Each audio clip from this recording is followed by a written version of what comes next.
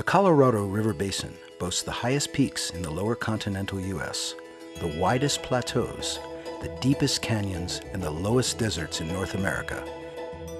In the desert southwest, the climate is dry and the landscape often arid.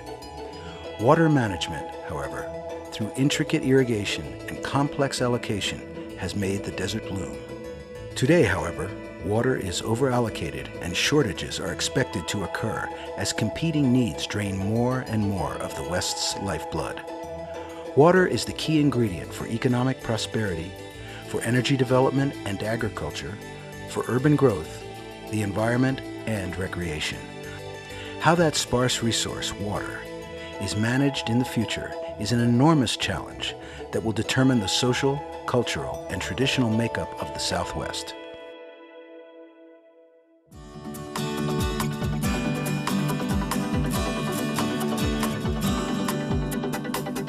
Now remember, we live next door to the ocean, but we also live on the edge of a desert. Los Angeles is a desert community, and without water, the dust will rise up and cover us as though we never existed. Now, the Alto Vallejo can save us from this, and I respectfully suggest that eight and one half million dollars is a fair price to pay to keep the desert from our streets and not on top of them.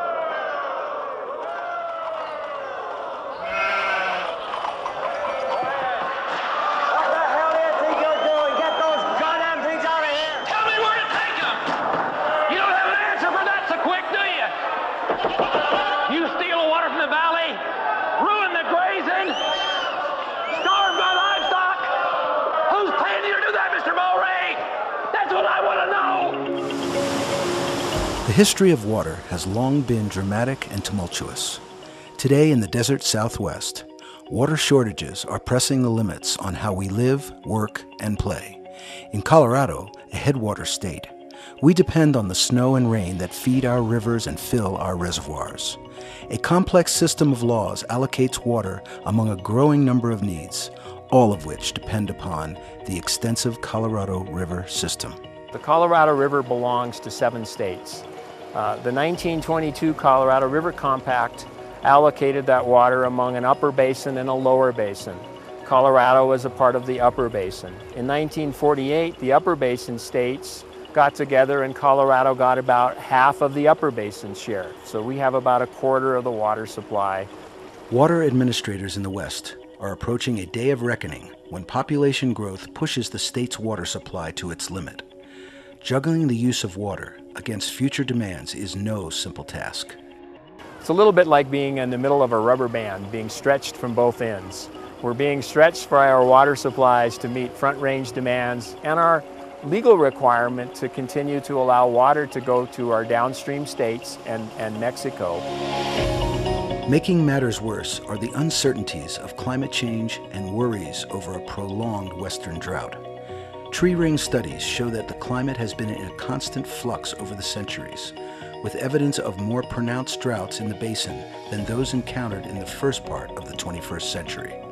In an era of climate change uh, and in an era of intense competition with downstream uh, states over the Colorado River's water, you know, we have to be very, very careful how we use this remaining resource that we have. The four major demands on water in Colorado are population, agriculture, recreational, and environmental needs and energy. Colorado State, where 85 to 90 percent of our water historically has gone for agricultural use.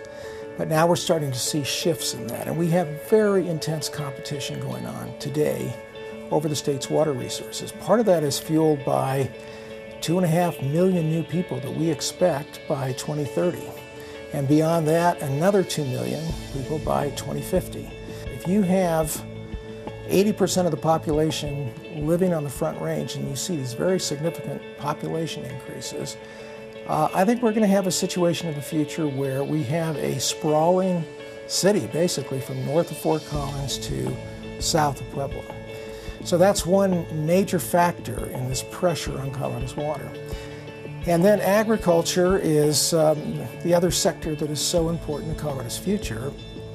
Agriculture today is about a $16 billion industry, but agriculture is facing significant pressures over competition for water resources and the shifting of water resources from agriculture to cities and municipalities.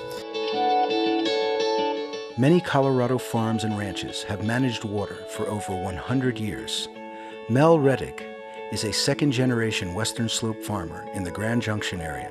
Well, without water here in the valley, it's a desert, so we wouldn't have any plants growing at all other than desert plants. Water is just critical to our, uh, to our agricultural needs. Where it used to be just primarily agriculture would demand the use of the water, now there's four major demands, and in some way we need to be able to figure out how to uh, furnish enough water for uh, the population. It's just going to be a combination and a juggling act.